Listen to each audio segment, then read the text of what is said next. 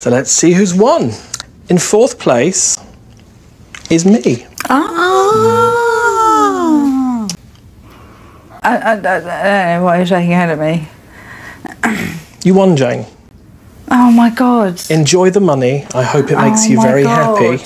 Dear Lord, what a sad little life, Jane. You ruined my night completely so you could have the money, but I hope now you spend it on getting some lessons in grace and decorum because you have all the grace of a reversing dump truck without any tyres on.